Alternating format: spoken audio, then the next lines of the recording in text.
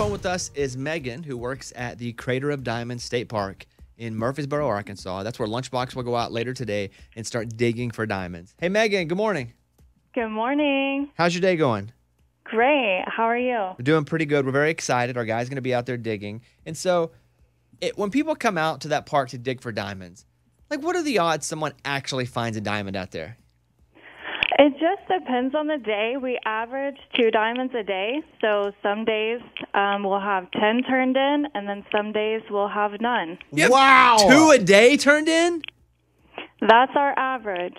Wow. And do they look like diamonds or do they look like funny looking rocks?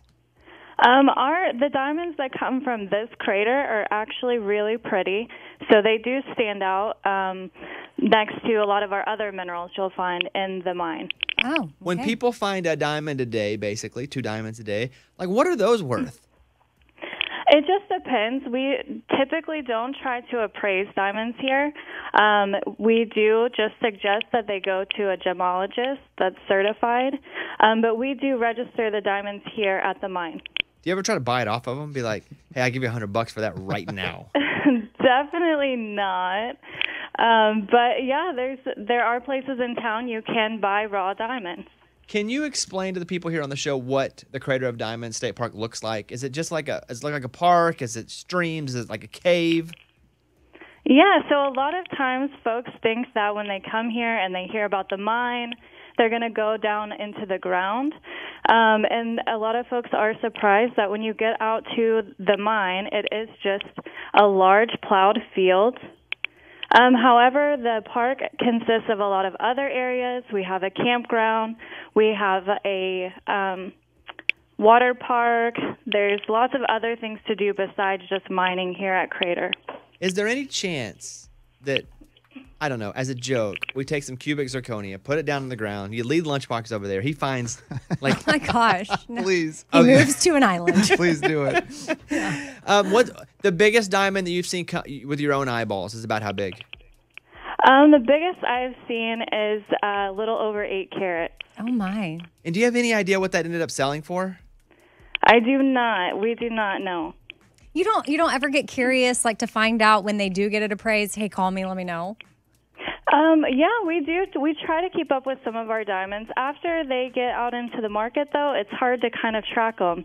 A lot of them end up in private collections, and so we don't see them after they leave here. Well, Lunchbox is going to be out there today digging, and he said if he finds a diamond worth a million dollars, he's quitting our show. What are the odds of that happening? Oh, nice. Um, well, I hope all the best for him. That would be incredible.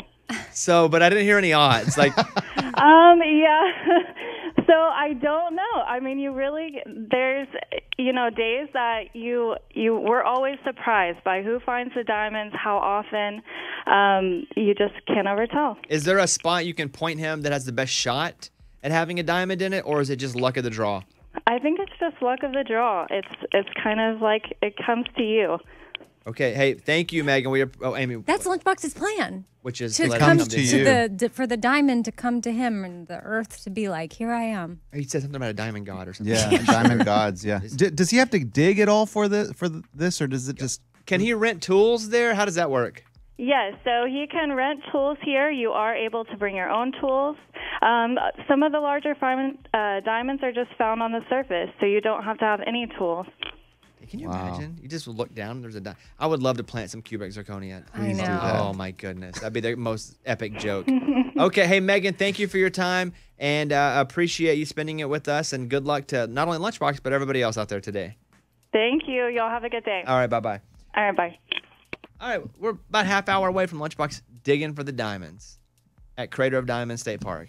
I can't believe they find two a day. I can't believe that. Yeah, and I'm crazy. shocked they don't know, or maybe they're just not supposed to comment on what th- the value is because I would be so interested all the time. Like, well, I wonder what did that sell for? How much is it worth? And then you would think, like when you buy I a put one of those Apple trackers on their car. Check the diamond. like when you buy a lottery ticket, that gas station gets a percentage. Like you'd think, well, this is Earth. A gas station has to sign up and put a machine in. okay, Yeah, this is Earth just existing. This is a Bobby Bones show.